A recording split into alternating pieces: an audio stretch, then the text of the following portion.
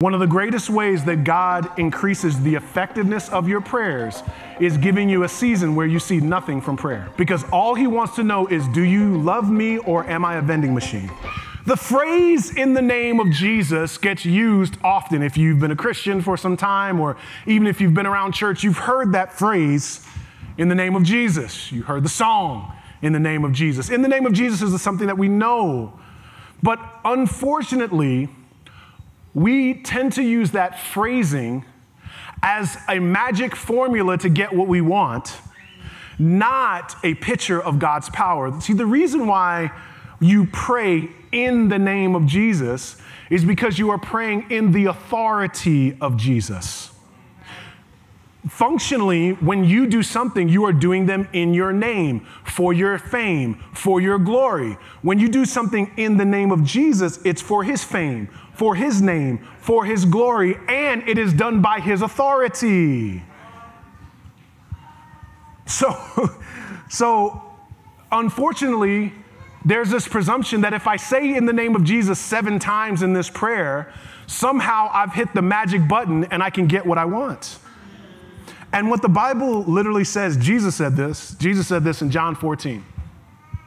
Jesus said in John 14, Whatever you ask in my name, how much is whatever? Whatever is whatever.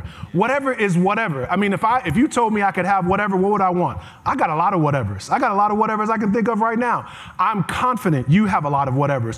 Think about how much whatever is. Whatever you ask in my name, whatever, anything, whatever, whatever. Just whatever.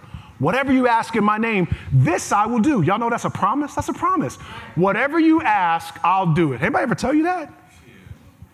No, I don't. Maybe they trying to they try to get something from you. If they tell you that. Jesus says, "Whatever you ask, I'll do it." Yeah, whatever you ask in my name. Oh. And unfortunately, because we understand the verse only in that part, we presume if I ask it in your name and I want it, then I'll get it. But the text goes on to say, whatever you ask in my name, I'll do, that the Father may be glorified in the Son. Then he repeats it again. If you ask me anything in my name, I'll do it. So he says it again. But in the middle there, what he says is, if you ask me something in my name and my authority, then you are actually asking for my authority and my glory.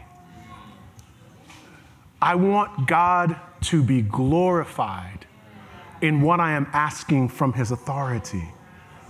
And I, I wonder when you think about your deepest desires, or when you think about your decisions, is God's glory like at the top of your decision making chart?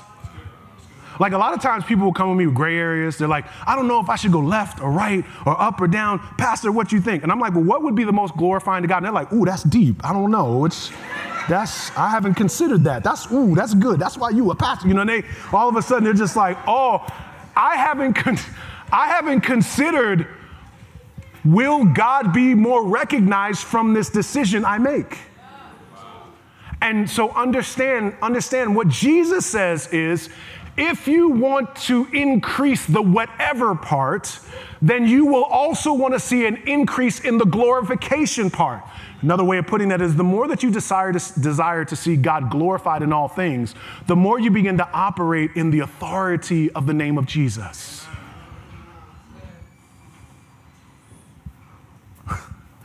um, I should have come and got this verse up there. I'm going to read for you a verse. It is one of the wildest verses in the Bible. But we got to be careful if we're just using the phraseology of Jesus' name to just get things we want or to do spiritual things. There's a verse uh, in Acts 19, verses 13 through 16. It says, the, the, Then some of the itinerant Jewish exorcists undertook to invoke the name of the Lord Jesus uh, over someone who, was, who had an evil spirit. And so they say to the evil spirit, I adjure you uh, by the name of Jesus, whom Paul proclaims. And then the verse 14 says, the seven sons of, oh, y'all got it up there. Okay, praise the Lord. So, verse 14, it says, the seven sons of Jewish high priest named Sceva were doing this. And then it says, But the evil spirit answered them, which is wild. And the evil spirit says, Jesus I know, and Paul I recognize. Who you? Whose man's is this? Listen, listen.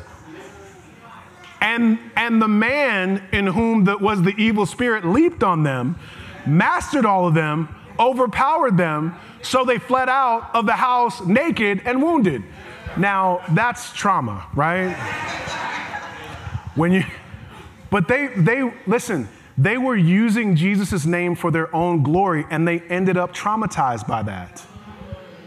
And I, I think that we tend to believe that if I add Jesus to my desires, then I will get what I long for.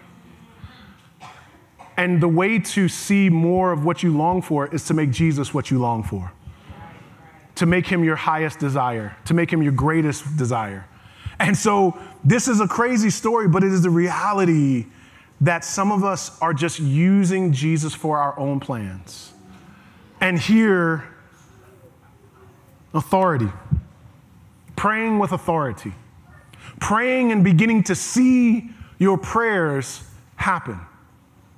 One of the greatest ways God increases the effectiveness of your prayers is by giving you a season where you see nothing from your prayers.